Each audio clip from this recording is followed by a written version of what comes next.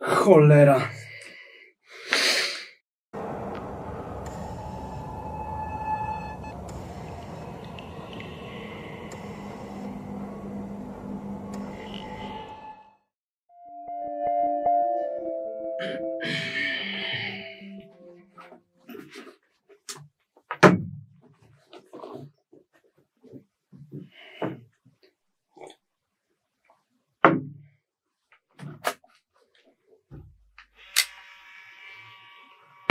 Dzisiaj porozmawiamy o efekcie motyla.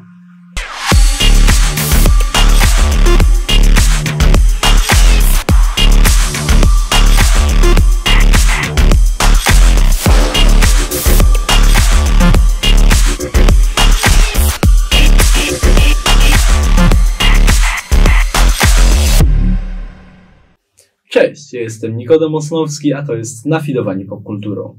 W dzisiejszym odcinku, tak jak wcześniej wspominałem, porozmawiamy sobie o efekcie motyla. Zacznijmy od tego, czym on jest.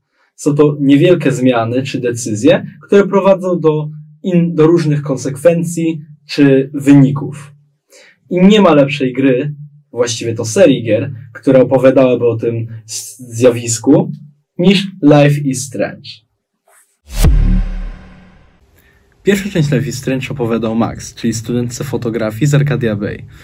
Pomijając pewne mniej istotne kwestie fabularne, to gra zaczyna się w damskiej toalecie, w której to Max jest świadkiem ataku Natana Prescotta na Chloe Price, czyli jej dawnej przyjaciółki z dzieciństwa.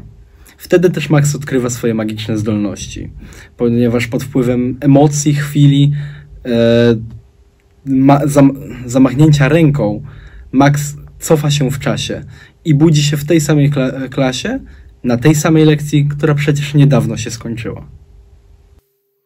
Jako, że Max dostała szansę od losu, to postanowiła z niej skorzystać. Pomyślała przecież, skoro znalazłam się kilka minut przed tym wydarzeniem, to nadal mogę uratować moją przyjaciółkę. To znaczy przyjaciółkę z dzieciństwa, ale wciąż to, to jest dla niej ważna osoba. No więc, tak jak pomyślała, tak też zrobiła. Przeżywała ten moment kilkukrotnie, żeby znaleźć najlepsze możliwe rozwiązanie. Okazało się, że jest nim włączenie alarmu pożarowego, który przegonił napastnika. Wkrótce potem też zjawił się woźny, no i ogółem zrobił się taki mały chaos, który koniec końców uratował życie Chloe. Ale to małe wydarzenie, które mogłoby się wydawać nieznaczące, będzie niosło ze sobą konsekwencje. I Max, i Chloe będą musiały się z, nim, z nimi zmierzyć. Po wydarzeniach w szkole Wszechświat nieraz upomni się o życie, które zostało wtedy uratowane. Max nieraz będzie musiała zmieniać bieg wydarzeń, żeby uratować siebie lub Chloe.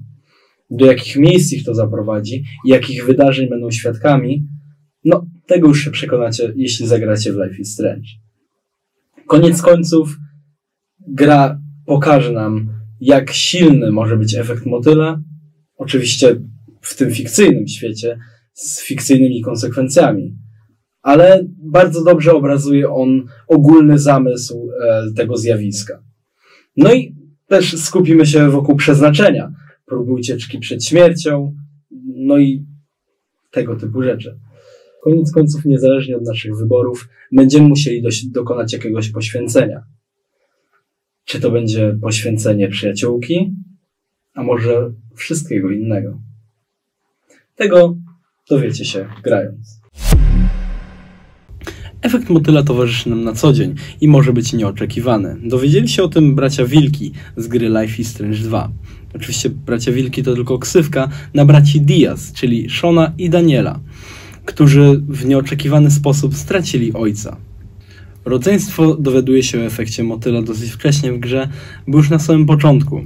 Mianowicie przez pewien zbieg okoliczności ginie ich ojciec, a oni są zmuszeni uciekać z kraju. Wędrówka ze Seattle aż do granicy będzie tym, co tak naprawdę zobaczymy w całej grze. I właśnie na tej drodze gracz będzie musiał podejmować decyzje, które wpłyną na Daniela, na Shona i na zakończenie ich przygody. Efekt motyla w tej części jest zdecydowanie bardziej widoczny niż w pierwszej części, e, mimo że nie jest tak zaznaczany swoją obecnością. W pierwszej części mieliśmy e, wszechobecne ikonki motylów, e, czy, czy samo wspomnienie o, o efekcie motyla. W tej części mm, w tej części mówi się o konsekwencjach, nie nazywa się ich efektem motyla, ale są moim zdaniem bardziej widoczne. Z tego względu, że na przykład zachowanie Daniela jest diametralnie różne, różne zależnie od tego, w jaki sposób e, Sean będzie chciał go wychować. Jeśli pozwolimy, pozwolimy młodemu przeklinać, e, no to zdarzy się tak, że przeklnie przy swojej babci, na co oczywiście ona się oburzy. E, chociaż bardziej zdziwi, bym powiedział.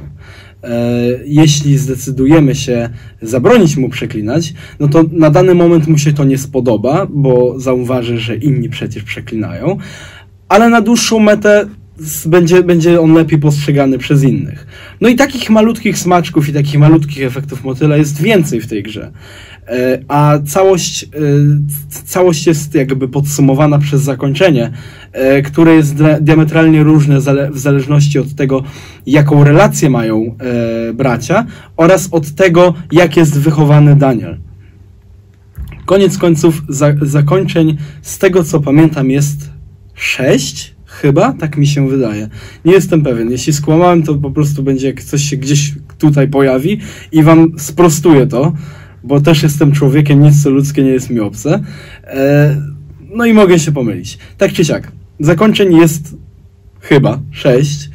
E, I one, one są zależne od tego, e, co wybierzemy na samym końcu, ale też od tego, jak poprowadziliśmy naszą relację z Danielem, jakie, jakie decyzje podjęliśmy. Jedno czy dwa z zakończeń pokazują również wydarzenia oraz relacje z postaciami, które spotkaliśmy wcześniej. Więc to, to, to jest kolejny, kolejny efekt motyla, który możemy tam zauważyć. Jeśli, jeśli chce, jeśli was, e, jeśli podoba wam się e, takie, takie konsekwencje, e, gry z konsekwencjami, jakiś efekt motyla, tego typu rzeczy, no to serdecznie mogę polecić wam Life is Strange 2.